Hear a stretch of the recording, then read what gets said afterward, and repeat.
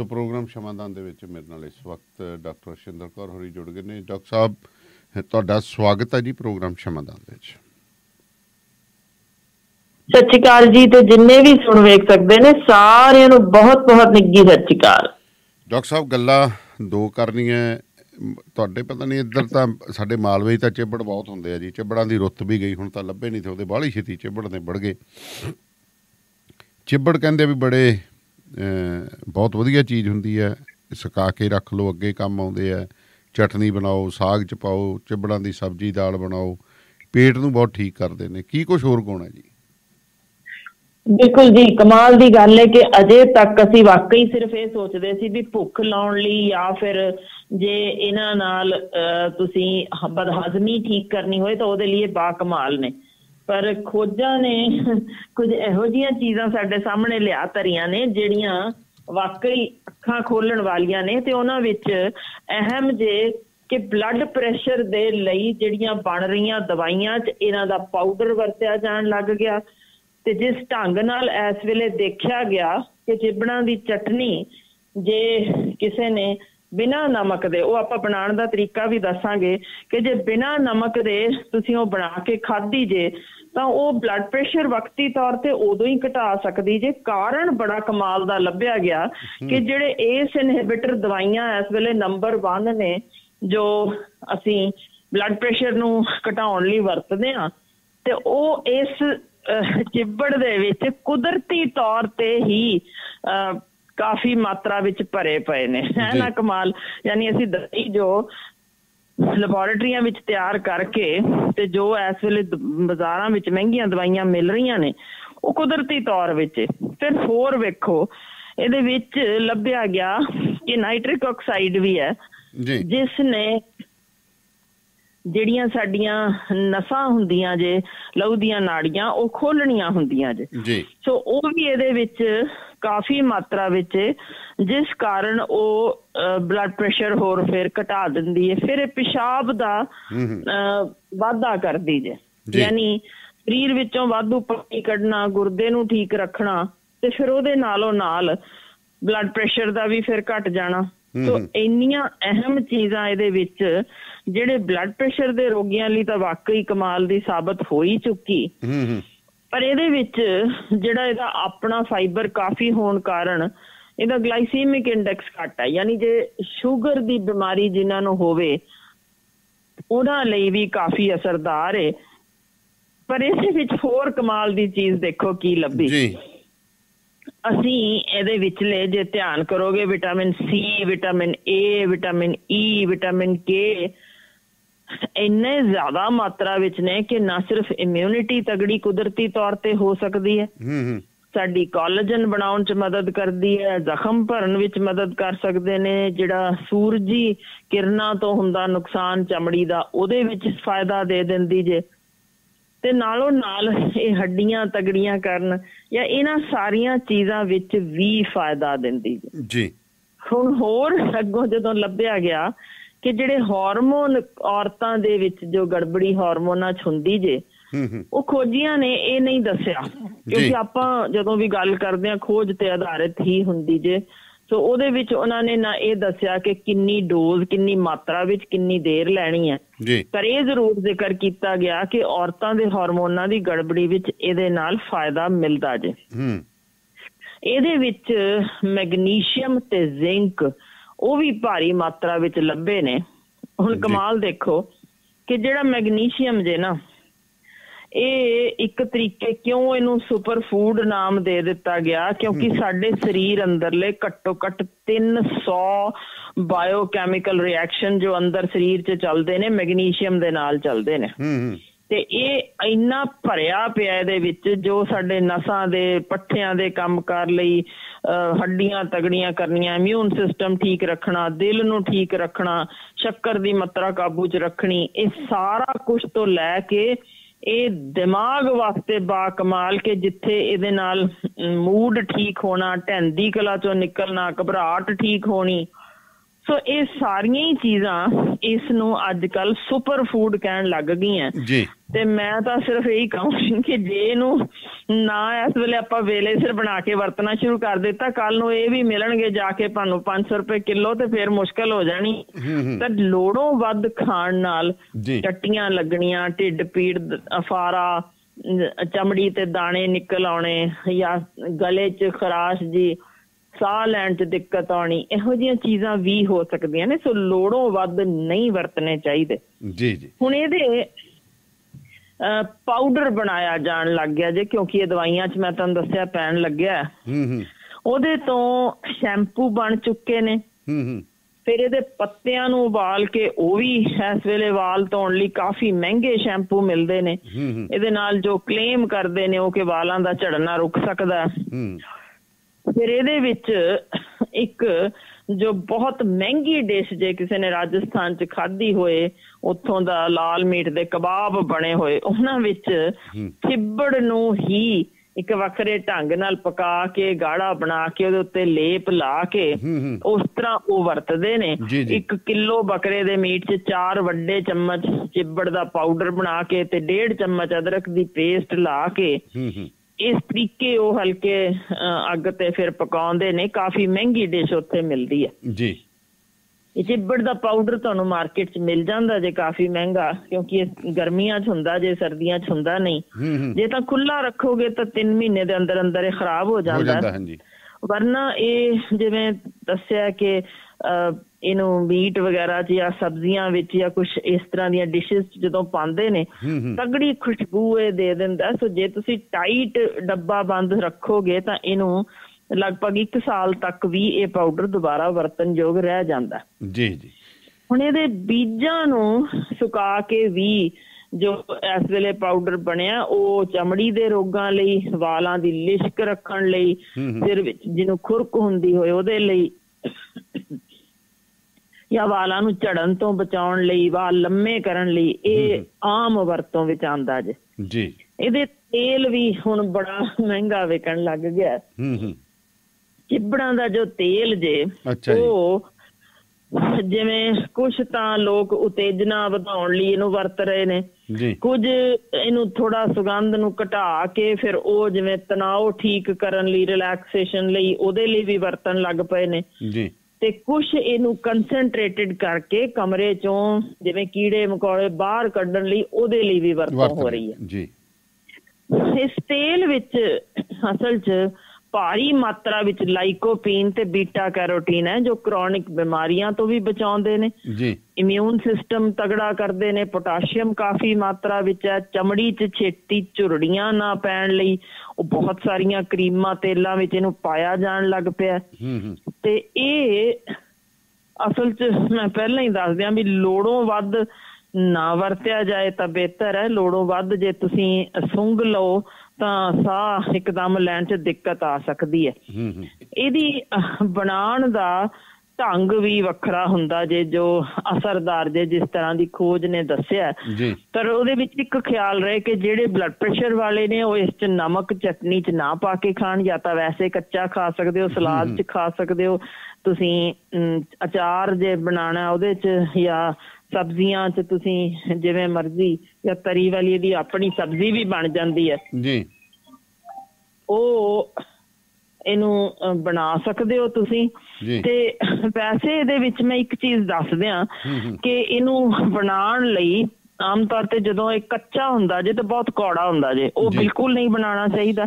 ਉਹਦੇ ਮਾੜੇ ਅਸਰ ਜ਼ਿਆਦਾ ਹੁੰਦੇ ਨੇ। ਸੋ ਪਹਿਲਾਂ ਜਦੋਂ ਤੁਸੀਂ ਬਣਾਉਣ ਲੱਗੇ ਹੋ ਇਹਦੇ ਦੋਨੋਂ ਸਿਰੇ ਕੱਟ ਕੇ ਇਹਨੂੰ ਛਿੱਲ ਲੈਣਾ ਚਾਹੀਦਾ। ਫਿਰ ਚੱਕ ਲਓ ਤੱਕ ਕਿ ਕੀ ਇਹ ਖੱਟਾ ਹੈ। ਫਿਰ ਇਹ ਠੀਕ ਹੈ ਜੇ ਕੌੜਾ ਹੈ ਤਾਂ ਨਹੀਂ ਵਰਤਣਾ ਚਾਹੀਦਾ। ਹਾਂਜੀ ਖੱਟਾ ਹੀ ਚੰਗਾ ਹੁੰਦਾ ਇਹਨੂੰ ਆਪਾਂ ਅੰਦਾਜ਼ਨ 10 ਜੇ ਹੈਗੇ ਨੇ ਨਾ ਚਿੱਬੜ ਤੁਸੀਂ ਜੇ ਲੈਂਦੇ ਹੋ ਚਟਨੀ ਬਣਾਉਣ ਲਈ ਤਾਂ ਉਹਦੇ ਵਿੱਚ ਜੇ ਤਾਂ ਸ਼ੱਕਰ ਰੋਗ ਹੈ ਤਾਂ ਮੈਂ ਪਹਿਲਾਂ ਹੀ ਦੱਸਤਾ ਖੰਡ ਨਹੀਂ ਪਾਣੀ ਜੇ ਹੈਗੇ ਤੁਹਾਨੂੰ ਬਲੱਡ ਪ੍ਰੈਸ਼ਰ ਹੈ ਤਾਂ ਨਮਕ ਨਾ। ਪਾਇਓ।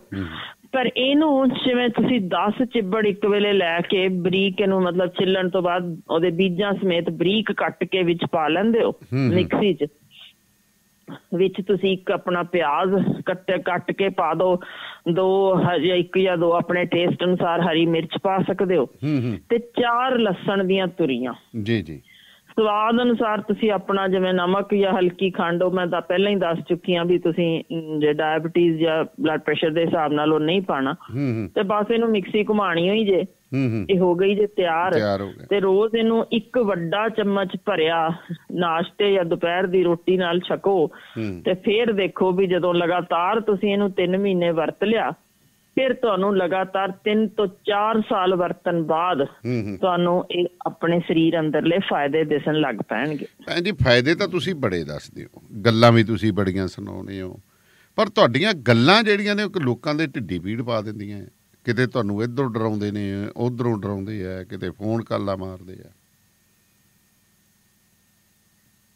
ਵੀਰਾ ਦੇਖੋ ਮੈਨੂੰ ਤਾਂ ਇੱਕੋ ਹੀ ਚੀਜ਼ ਸਮਝ ਅਜੇ ਤੱਕ ਆਈ ਜੋ ਮੈਂ ਬਹੁਤ ਸਾਰੇ ਸਿਆਣਿਆਂ ਤੋਂ ਸਿੱਖੀ ਜੇ। ਜੀ। ਕਿ ਪੀੜ ਸਿਰਫ ਉਸੇ ਤੋਂ ਹੁੰਦੀ ਜੇ ਜਿੱਥੇ ਤੁਹਾਨੂੰ ਡਰ ਲੱਗੇ ਵੀ ਇਹ ਕਦਮ ਕੋਈ ਅਗਾਹ ਪੁੱਟ ਗਿਆ। ਆਪਣੀ ਫਿਤਰਤ ਅਜਿਹੀ ਹੈ ਕਿ ਅਸੀਂ ਦੂਸਰੇ ਦੀ ਲਾਈਨ ਜਦੋਂ ਕੱਟਣ ਦੀ ਕੋਸ਼ਿਸ਼ ਕਰਦੇ ਹਾਂ ਕਿ ਆਪਣੀ ਲਾਈਨ ਨਹੀਂ ਲੰਬੀ ਹੋ ਸਕਦੀ ਦੂਜੇ ਦੀ ਕੱਟ ਦਈਏ ਜੀ। ਤਾਂ ਫਿਰ ਉਹ ਮੇਰੇ ਦਾਨੇ ਵਾਲੀਆ ਵੀਰ ਵਰਗਿਆਂ ਦੇ ਲਈ ਵੀ ਬੋਲਣ ਲੱਗ ਜਾਣਗੇ। ਮੈਂ ਤਾਂ ਸ਼ਾਇਦ ਹੀ ਕੁਝ ਨਹੀਂ। ਮੇਰੇ ਤੇ ਤਾਂ ਵੈਸੇ ਹੀ ਮਿਹਰਬਾਨ ਹੋ ਜਾਂਦੇ ਨੇ ਕਿ ਕੁਝ ਵੀ ਦੱਸਣ ਲਈ ਅਗਾਂ ਆਈ ਕਿਉਂ। ਜਾਂ ਪੰਜਾਬ ਦੇ ਹਿੱਤ ਲਈ ਕੋਈ ਗੱਲ ਕੀਤੀ ਹੋਈ ਕਿਉਂ ਜੀ। ਪੰਜਾਬੀਆਂ ਨੂੰ ਜਗਾਉਣ ਦੀ ਕੋਸ਼ਿਸ਼ ਕੀਤੀ ਕਿਉਂ ਤੋਂ ਇਹਨੂੰ ਤਾਂ ਪਹਿਲਾਂ ਧਰ ਲਓ। ਵੀ ਮੈਨੂੰ ਲੱਗਦਾ ਜੇ ਕੱਲ ਨੂੰ ਜਿੰਨੀਆਂ ਕੁ ਟਰਾਫੀਆਂ ਮੈਨੂੰ ਮਿਲੀਆਂ ਹੋਈਆਂ ਨੇ ਵਿਸ਼ਵ ਪੱਧਰ ਤੇ ਉਹ ਗਿਣ ਲਓ ਤੇ ਜਿੰਨੇ ਕੁ ਸਰਕਾਰੀ ਮੈਨੂੰ ਇਨਾਮ ਸਨਮਾਨ ਦਿੱਤੇ ਨੇ ਉਹਨਾਂ ਨੇ। ਵਾਰ-ਵਾਰ ਕਦੇ ਸਸਪੈਂਡ ਕਰ ਕਦੇ ਕੁਝ ਮੈਨੂੰ ਲੱਗਦਾ ਉਹਦੇ ਚ ਮੈਂ Guinness book of world record ਤਾਂ ਜ਼ਰੂਰ ਇਸ ਵੇਲੇ ਤੱਕ ਲੰਘ ਗਈ ਹੋਵਾਂਗੀ ਸੋ ਇੱਕ ਵਾਰ ਹੋਰ ਉਹੀ ਡਰਾਵਾ ਫਿਰ ਦੇ ਰਹੇ ਨੇ ਕਿ। ਤੁਸੀਂ ਬੋਲਣਾ ਬੰਦ ਕਰ ਦਿਓ ਤੇ ਚੰਗੀ ਗੱਲ ਏ। ਹੁਣ ਇਹ ਡਰਾਵਾ ਕਿਸ ਵੱਲੋਂ ਕਿਵੇਂ ਕਿਸ ਢੰਗ ਨਾਲ ਭੇਜ ਰਹੇ ਨੇ।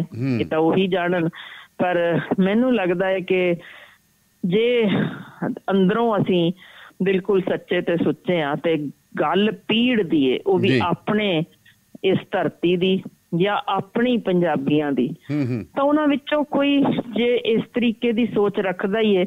ਰੱਬ ਉਹਨੂੰ ਵੀ ਲੰਬੀ ਉਮਰ ਦੇਵੇ ਸਲਾਮਤ ਰੱਖੇ। ਪਰ ਮੇਰਾ ਖਿਆਲ ਹੈ ਆਪਣਾ ਕੰਮ ਅਸੀਂ ਤੋਰੀ ਰੱਖੀਏ ਕਿ ਪੰਜਾਬੀਆਂ ਨੂੰ ਜਗਾਉਣਾ ਜ਼ਰੂਰ ਹੂੰ। ਕਿਉਂਕਿ ਇੱਕ ਸੁਪਨਾ ਹੁੰਦਾ ਜੇ ਸਾਡਾ ਪੰਜਾਬ ਸਹੀ ਮਾਇਨਿਆਂ 'ਚ ਉਸੇ ਤਰ੍ਹਾਂ ਉਚਾਈਆਂ ਛੂ ਸਕੇ। ਸਾਡੇ ਪੰਜਾਬੀ ਨਾ ਸਿਰਫ ਬੁਲੰਦੀਆਂ ਛੂਣ ਬਲਕਿ ਸਿਹਤਮੰਦ ਰਹਿਣ ਇੱਥੇ ਖੁਸ਼ੀਆਂ ਹੋਣ ਚੁਫੇਰੇ। ਸੋ ਉਹਦੇ ਲਈ ਜਿੰਨਾ ਕੁ ਯੋਗਦਾਨ ਪਾ ਸਕਦੇ ਆ ਤੇ ਮੈਂ ਤੁਹਾਨੂੰ ਸਲੂਟ ਕਰਦੀ ਹਾਂ ਕਿਉਂਕਿ ਤੁਸੀਂ ਹਮੇਸ਼ਾ ਇਹੋ ਜਿਹੇ ਮੁੱਦੇ ਚੁੱਕਦੇ ਹੋ ਤੇ ਆਪਾਂ ਹਮੇਸ਼ਾ ਹੀ ਲੋਕਾਂ ਨੂੰ ਜਾਗਰਤ ਕਰਨ ਦੀ ਕੋਸ਼ਿਸ਼ ਕੀਤੀ ਏ। ਤੋ ਕਦੋਂ ਤੱਕ ਰੱਬ ਨੇ ਚਾਹਿਆ ਜਾਰੀ ਰੱਖਾਂਗੇ। ਜੀ। ਅਹ ਜਿਸਨੇ ਵੀ ਇਸ ਤਰੀਕੇ ਦਾ ਬੰਦ ਕਰਾਉਣ ਦੀ ਕੋਸ਼ਿਸ਼ ਕੀਤੀ ਹੋਏ ਮੈਂ ਤਾਂ ਪਹਿਲਾਂ ਹੀ ਕਹਤਾ ਰੱਬ ਉਹਦਾ ਵੀ ਭਲਾ ਕਰੇ। ਸੋ ਆਪਾਂ ਜਦ ਤੱਕ ਜਾਰੀ ਰੱਖਣਾ ਆਪਾਂ ਤਾਂ ਤੁਰਦੇ ਹੀ ਰਹਿਣਾ। ਆ ਬਿਲਕੁਲ ਜੀ ਗੱਲਾਂ ਇਹ ਹੁੰਦੀਆਂ ਕਿ ਆਪਾਂ ਸਮਾਜ 'ਚ ਗੱਲਾਂ ਕਰਦੇ ਸਾਡਾ ਸਮਾਜ ਦੀ ਅਸੀਂ ਗੱਲ ਕਰਦੇ ਸਮਾਜ ਦੇ ਵਿੱਚ ਜੇਕਰ ਕੋਈ ਊਣਤਾ ਹੀ ਹੈਗੀ ਹੈ ਅਸੀਂ ਉਹਨੂੰ ਗੱਲ ਕਰਦੇ ਹਾਂ। ਤੇ ਜਦੋਂ ਅਸੀਂ ਉਹਦੀ ਗੱਲ ਕਰਦੇ ਤਾਂ ਅਵਸ਼ ਜਿਹੜਾ ਹੈ ਉਹ ਸਮੇਂ-ਸਮੇਂ ਦੇ ਜਿਹੜੇ ਸਾਡੇ ਹਾਕਮ ਨੇ ਉਹਨਾਂ ਨੇ ਹੀ ਉਸ ਨੂੰ ਠੀਕ ਕਰਨਾ ਹੁੰਦਾ ਹੈ। ਉਹ ਅਸੀਂ ਤਾਂ ਉਹਨਾਂ ਨੂੰ ਦੱਸ ਸਕਦੇ ਹਾਂ, ਅਸੀਂ ਤਾਂ ਆਇਨਾ ਹੈ। ਜੇਕਰ ਸਾਡੇ ਕੋਲੇ ਕੋਈ ਤਾਕਤ ਹੁੰਦੀ ਤਾਂ ਅਵਸ਼ ਅਸੀਂ ਉਹਨੂੰ ਠੀਕ ਕਰ ਲੈਂਦੇ, ਪਰ ਅਸੀਂ ਕੋਸ਼ਿਸ਼ ਹਮੇਸ਼ਾ ਹੀ ਕਰਦੇ ਹਾਂ ਕਿ ਜੇ ਹੋ ਸਕਦਾ ਤਾਂ ਸਿੱਧੇ ਰਾਹੇ ਅਸੀਂ ਪਾਈਏ। ਜਿੰਨਾ ਕਿ ਕੋਈ ਸਮਾਜਿਕ ਪੱਖੋਂ ਅਸੀਂ ਗੱਲ ਕਰ ਸਕਦੇ ਹਾਂ, ਬੱਚਿਆਂ ਨੂੰ ਪੜਾਉਣਾ ਹੈ, ਉਹ ਪੜਾ ਲੈਂਦੇ ਆ ਕੋਈ ਕਿਸੇ ਦਾ ਘਰ-ਬਾਰ ਹੈ, ਕਿਸੇ ਨੂੰ ਕੋਈ ਐਂ ਸਲਾਹ ਦੇਣੀ ਆ, ਭਾਈ ਸੁਧਰ ਜੋ ਉਹ ਕਰੀ ਜਾਂਦੇ ਆ ਪਰ ਜੋ ਇਹੋ ਜਿਹੀਆਂ ਗੱਲਾਂ ਤੇ ਵੀ ਸਮੇਂ-ਸਮੇਂ ਦੇ ਜਿਹੜੇ ਸ- ਹਾਕਮ ਨੇ, ਉਹ ਦੁਖੀ ਹੋਣ ਤਾਂ ਮਾੜੀ ਗੱਲ ਹੈ। ਬਿਲਕੁਲ ਦੇਖੋ ਗੱਲ ਇਸ ਤਰ੍ਹਾਂ ਹੁੰਦੀ ਹੈ ਬਾਜੀ ਕਿ ਹਰ ਕਿਸੇ ਦੇ ਆਪਣੀ ਜ਼ਿੰਮੇਵਾਰੀ ਚੁੱਕੀ ਹੁੰਦੀ ਹੈ ਕਿ ਮੈਂ ਇਹ ਕੰਮ ਕਰਨਾ ਤੇ ਕਈ ਵਾਰ ਸਾਨੂੰ ਲੱਗਦਾ ਕਿ ਸ਼ਾਇਦ ਅਸੀਂ ਕਰ ਰਹੇ ਹਾਂ। ਹੂੰ। ਕਰੇ ਕਰਾਵੇ ਆਪੇ ਆਪ ਉਹ ਅਸਲ 'ਚ ਆਪ ਚੁਣਦਾ ਹੁੰਦਾ ਕਿ ਇਸ ਬੰਦੇ ਦੇ ਰਾਹੀਂ ਮੈਂ ਇਹ ਕੰਮ ਕਰਵਾਉਣਾ। ਤੇ ਜਦੋਂ ਤਾਂ ਅਸੀਂ ਕੁਝ ਵਧੀਆ ਕਰਦੇ ਸ਼ਾਬਾਸ਼ੀ ਲੈਂਦੇ ਆ ਤਾਂ ਸਾਨੂੰ ਲੱਗਦਾ ਅਸੀਂ ਕਰਨ ਵਾਲੇ ਹਾਂ। ਤੇ ਜਦੋਂ ਕਿਸੇ ਪਾਸਿਓਂ ਕੋਈ ਰੋਕਣ ਦੀ ਸਾਨੂੰ ਕੋਸ਼ਿਸ਼ ਕਰਦਾ ਤੇ ਫਿਰ ਲੱਗਦਾ ਸ਼ਾਇਦ ਸਾਡਾ ਵਿਰੋਧ ਹੋ ਰਿਹਾ ਮੇਰੇ ਖਿਆਲ ਉਹ ਉਹਨਾਂ ਲੋਕਾਂ ਨੂੰ ਵੀ ਸਮਝ ਆ ਜਾਣੀ ਚਾਹੀਦੀ ਹੈ ਕਿ ਕਰਵਾਉਣ ਵਾਲਾ ਤਾਂ ਉਹੀ ਹੈ ਤੇ ਜਦ ਤੱਕ ਉਹਨੇ ਕਰਵਾਉਣਾ ਉਹਦੇ ਵਿੱਚ ਕਿਸੇ ਦਾ ਕੋਈ ਵਾਲ ਫਿੰਗਰ ਨਹੀਂ ਕਰ ਸਕਦਾ। ਤੇ ਜਦੋਂ ਕਿਸੇ ਨੇ ਦਾ ਅੰਤ ਆਣਾ ਉਹ ਤਾਂ ਵੀਰਾ ਸਕਿੰਟ ਅਗਲਾ ਪਤਾ ਨਹੀਂ ਅਸੀਂ ਹਮ ਆਦਮੀ ਹਾਂ ਇੱਕਦਮ ਹੀ ਉਹ ਤਾਂ ਅੰਦਰ ਜਿਹੜਾ ਕੱਢਿਆ ਅੰਦਰੋਂ ਬਾਹਰ ਵਾਪਸ ਵੀ ਖਿੱਚ ਸਕਣਾ ਕਿ ਨਹੀਂ ਤੇ ਕਿਸੇ ਨੂੰ ਵੀ ਨਹੀਂ ਪਤਾ ਹੁੰਦਾ। ਪਰ ਗੱਲ ਇਹ ਹੁੰਦੀ ਹੈ ਕਿ ਵਧੀਆ ਜੋ ਇਸ ਵੇਲੇ ਅਸੀਂ ਗਿਣਦੇ ਆ ਹੁਕਮਰਾਨ ਹੁੰਦੇ ਨੇ ਜੀ। ਉਹ ਅਸਲ ਗੱਲ ਹੁੰਦੀ ਜੇ ਕਿ ਆਪਣੇ ਆਲੇ ਦੁਆਲੇ ਦੇ ਜਿਹੜੇ ਉਹਨਾਂ ਨੂੰ ਮਿੱਠ ਬੋਲੜੇ ਜਾਪਦੇ ਨੇ ਉਹਨਾਂ ਵਿੱਚ ਕਈ ਵਾਰ ਹੁੰਦਾ ਜੇ ਕਿ ਉਹ ਇੰਨਾ ਕੁ ਸੰਘਣਾ ਚਫੇਰੇ ਘੇਰਾ ਪੈ ਜਾਂਦਾ ਹੈ ਕਿ ਆਮ ਲੋਕਾਂ ਦੀ ਆਵਾਜ਼ ਉੱਥੇ ਤੱਕ ਪਹੁੰਚਦੀ ਨਹੀਂ। ਉਹ ਆਮ ਲੋਕਾਂ ਦੀ ਆਵਾਜ਼ ਮੀਡੀਆ ਬਹੁਤ ਖੂਬਸੂਰਤ ਤਰੀਕੇ ਨਾਲ ਨਿਭਾ ਰਿਹਾ ਹੈ ਜਿਹਦੇ ਵਿੱਚ ਕਾਫੀ ਮੀਡੀਆ ਤੇ ਅੱਜਕੱਲ ਉਂਗਲਾਂ ਚੁੱਕੀਆਂ ਜਾਣ ਲੱਗ ਪਈਆਂ ਕਿ ਕੁਝ ਕਿਸੇ ਪਾਰਟੀ ਨਾਲ ਕੁਝ ਕਿਸੇ ਪਾਰਟੀ ਨਾਲ। ਉਹਦੇ ਬਾਵਜੂਦ ਤੁਹਾਡੇ ਵਰਗੇ ਹਨ ਬਹੁਤ ਸਾਰੇ ਜਿਹੜੇ ਅਜੇ ਵੀ ਨਿਡਰ ਹੋ ਕੇ ਨਿਰਭੈ ਹੋ ਕੇ ਭੈ ਕਾਹੂ ਕੋ ਦੇਤ ਨਾ ਨਾ ਪੈਮਾਨਤਾਨ ਅਸੀਂ ਸਿਰਫ ਉਹ ਆਪਣਾ ਜ਼ਿਕਰ ਕਰਦੇ ਰਹਿਣਾ ਜਗਾਉਂਦੇ ਰਹਿਣਾ ਹੁੱਕਾ ਦਿੰਦੇ ਰਹਿਣਾ ਉਹਦੇ ਵਿੱਚ ਨਾ ਕੋਈ ਕੁਰਸੀ ਦੀ ਚਾਹ ਹੁੰਦੀ ਹੈ। ਨਾ ਕੋਈ ਫਾਇਦਾ ਅਸੀਂ ਦੇਖਣਾ ਹੁੰਦਾ ਕਿ ਨਹੀਂ ਭਾਈ ਅਸੀਂ ਤਾਂ ਸਿਰਫ ਇੱਕ ਹੋਕਾ ਦੇਣ ਚੱਲੇ ਆ ਆ ਕਰ ਲਓਗੇ ਤਾਂ ਲੋਕ ਤੁਹਾਨੂੰ ਰਹਿੰਦੀ ਉਮਰ ਤੱਕ ਯਾਦ ਰੱਖਣਗੇ। ਕਿਉਂਕਿ ਜੇ ਅਸੀਂ ਇਹ ਹੋਕਾ ਸੁਣਨ ਤੋਂ ਇਨਕਾਰੀ ਹੋ ਜਾਓਗੇ ਤਾਂ ਵੀਰਾ ਫਿਰ ਅ, ਤਖਤਾਂ ਬਾਰੇ ਤਾਂ ਬਹੁਤ ਸੋਹਣਾ ਸ਼ਾਇਰ ਨੇ ਕਿਹਾ ਹੈ ਤੁਮਸੇ ਪਹਿਲੇ ਵੀ ਥਾ ਇਸ ਤਖਤ पे कोई तख्त नशीं उसे भी अपने खुदा होने का था इतना ही यकीन तो ਉਹ ਤਾਂ ਹਰ ਇੱਕ ਨੂੰ ਹੀ ਲੱਗਦਾ ਹੈ ਕਿ ਇਹ ਕੁਰਸੀ ਤੇ ਮੈਂ ਰੱਬ ਹੀ ਆ ਪਰ ਕੁਰਸੀਆਂ ਕਦੋਂ ਹੁੰਦੀਆਂ ਨੇ ਸਦੀਵੀ ਇਹ ਤਾਂ ਵਕਤ ਬਹੁਤ ਛੇਤੀ ਬਦਲਦਾ ਜੇ ਤੇ ਫਿਰ ਸਾਨੂੰ ਪਤਾ ਹੀ ਹੈ ਵੱਡੇ ਵੱਡੇ ਇਸ ਦੁਨੀਆ ਵਿੱਚ ਟਿਕ ਨਹੀਂ ਸਕੇ ਤੇ ਫਿਰ ਇਕੱਲਾ ਵੀ ਛੋਟੀ ਜਿਹੀ ਜ਼ਿੰਦਗੀ ਵਿੱਚ ਵੀ ਇੱਕ ਮਿਸਾਲ ਕਾਇਮ ਕਰ ਜਾਂਦਾ ਜੋ ਲੋਕਾਂ ਦੇ ਮਨਾਂ ਤੇ ਰਾਜ ਕਰਦਾ ਜਿਵੇਂ ਭਗਤ ਸਿੰਘ ਹੋਣ। ਇਹ ਸਾਰੇ ਸਾਡੇ ਆਮ ਲੋਕਾਂ ਦੇ ਮਨਾਂ ਤੇ ਰਾਜ ਕਰਨ ਵਾਲੇ ਨੇ ਤੇ ਸ਼ਾਇਦ ਕਈ ਪੁਸ਼ਤਾਂ ਲੰਘ ਜਾਣਗੀਆਂ ਜਦ ਤੱਕ ਦੁਨੀਆ ਉਹ ਜ਼ਿੰਦਾ ਹੀ ਰਹਿਣਗੇ। ਜੀ। ਸੋ ਇਹ ਨਹੀਂ ਹੁੰਦਾ ਕਿ ਕੁਰਸੀਆਂ ਤੇ ਕੌਣ ਰਾਜ ਕਰ ਗਿਆ। ਗੱਲ ਹੁੰਦੀ ਹੈ ਕਿ ਜੇ ਉਹਨਾਂ ਨੇ ਬੰਬ ਇੱਕ ਫੋੜਿਆ ਸੀ ਉੱਥੇ ਤਾਂ ਉਹ ਬੋਲੇ ਕੰਨਾਂ ਤਾਈਂ ਪਹੁੰਚਣ ਲਈ ਸੀ। ਇਹ ਅੱਜ ਵੀ ਬਹੁਤ ਸਾਰੇ ਨਿੱਕੇ ਨਿੱਕੇ ਥਾਵਾਂ ਤੇ ਆਪੋ ਆਪਣੀਆਂ ਯੂਥ ਕਲੱਬਾਂ ਵਿੱਚੋਂ ਬਹੁਤ ਸਾਰੀਆਂ ਐਨਜੀਓ ਸਭਾਵਾਂ ਯਤਨਾਂ ਵਿੱਚ ਤਾਂ ਜ਼ਰੂਰ ਜੁੜੀਆਂ ਨੇ। ਜੀ। ਤੋ ਜ਼ਰੂਰ ਅਸੀਂ ਉਮੀਦ ਕਰਦੇ ਹਾਂ ਕਿ ਜਿੱਥੇ ਕੁਝ ਮਾੜਾ ਹੋ ਰਿਹਾ ਹੈ, ਉਹਦੇ ਲਈ ਜਿਉਂਦੇ ਹੋਣ ਦਾ ਸਬੂਤ ਦਿੰਦੇ ਰਹੀਏ ਕਿ ਅਸੀਂ ਆਵਾਜ਼ ਚੁੱਕੀ ਇਹ ਗਲਤ ਹੈ ਤੇ ਗਲਤ ਕਹਿਣ ਨੂੰ ਦਮ ਰੱਖਦੇ ਆ ਉਹ ਸਾਨੂੰ ਸਾਡੇ ਗੁਰੂ ਨੇ ਸਿਖਾਇਆ ਭਈ ਭਾਈ ਹਿੰਮਤ ਰੱਖੋ। ਨੇ ਹੱਥਾਂ ਸੀ ਸਾਡੇ ਤਾਂ ਗੁਰੂ ਨਾਨਕ ਦੇਵ ਜੀ। ਉਹਨਾਂ ਨੇ ਇਹ ਦਿਖਾਇਆ ਸੀ ਵੀ ਗਲਤ ਹੈ ਤਾਂ ਵੀ ਬਾਬਰ ਨੂੰ ਜਾਬਰ ਵੀ ਕਿਹਾ ਜਾ ਸਕਦਾ। ਸੋ ਅਸੀਂ ਜਿੱਥੇ ਕੋਈ ਗਲਤੀ ਦਿਸਦੀ ਹੈ ਜ਼ਰੂਰ ਕਹਿੰਦੇ ਆ ਇਹ ਗਲਤ ਲੱਗਦਾ ਜੇ। ਜੇ ਠੀਕ ਲੱਗਦਾ ਹੁਕਮਰਾਨ ਉਹਨੂੰ ਠੀਕ ਕਰ ਸਕਦੇ ਨੇ। ਜੇ। ਉਹਨਾਂ ਨੂੰ ਲੱਗਦਾ ਕਿ ਨਹੀਂ ਸਾਡਾ ਇਹੋ ਹੀ ਢੰਗ ਰਹਿਣਾ। ਜੀ ਸਦਕੇ ਉਹਨਾਂ ਨੂੰ ਸਲਾਮਤ ਰਹਿਣ ਵੀਰ ਨਾ ਤੁਸੀਂ ਕੁਰਸੀ ਲੈਣੀ ਨਾ। ਮੈਨੂੰ ਚਾਹ। ਸੋ ਆਪਾਂ ਤੇ ਆਪਣੇ ਰਸਤੇ ਤੁਰਦੇ ਰਹਿਣਾ। ਸੋ ਬਹੁਤ ਬਹੁਤ ਸ਼ੁਕਰੀਆ ਜੀ। ਇਹੀ ਆਵਾਜ਼ ਬੁਲੰਦ ਰਵੇ ਤੁਹਾਡੀ। ਧੰਨਵਾਦ ਜੀ। ਮਿਹਰਬਾਨੀ। ਸੋ ਇਹ ਸਨ ਡਾਕਟਰ ਸ਼ਿੰਦਰ ਕੌਰ ਹੋਰੀ। ਸੋ ਆਪਾਂ ਨੂੰ ਵੀ ਇੱਕ ਚਿੰਤਾ ਦਾ ਆਪਣੇ ਲਈ ਵਿਸ਼ਾ ਹੈ ਕਿ ਜੇਕਰ ਸਮੇਂ-ਸਮੇਂ ਦੀਆਂ ਸਰਕਾਰਾਂ ਇਸੇ ਤਰ੍ਹਾਂ ਨਿਰਪੱਖ ਆਵਾਜ਼ ਆਵਾਜ਼ਾਂ ਜਿਹੜੀਆਂ ਨੇ ਉਹਨਾਂ ਨੂੰ ਬੰਦ ਕਰਾਉਣ ਦੀ ਕੋਸ਼ਿਸ਼ ਕਰਦੀ ਹੈ ਤਾਂ ਉਸ ਤੋਂ ਚਿੰਤਾ ਵਾਲਾ ਵਿਸ਼ਾ ਕੋਈ ਨਹੀਂ ਹੈ। ਸੋ ਸਾਨੂੰ ਇਕਮੁੱਠ ਹੋ ਕੇ ਇਹ ਗੱਲਾਂ ਜਿਹੜੀਆਂ ਨੇ ਸੁਲਝਣੀਆਂ ਸੁਲਝਾਉਣੀਆਂ ਚਾਹੀਦੀਆਂ ਨੇ ਇਹਦੇ ਉੱਤੇ ਵਿਚਾਰ ਕਰਨਾ ਫਿਲਹਾਲ ਇੱਕ ਬ੍ਰੇਕ ਬ੍ਰੇਕ ਜੀ ਵਿਆਹ ਲਈ ਕੱਪੜਿਆਂ ਦੀ ਤੇ ਸ਼ਾਪਿੰਗ ਹੋ ਗਈ ਲਾਜਵਾਬ ਪਰ ਜੁਐਲਰੀ ਕਿੱਥੋਂ ਲੈਣੀ ਹੈ? ਫਿਕਰ ਨਾ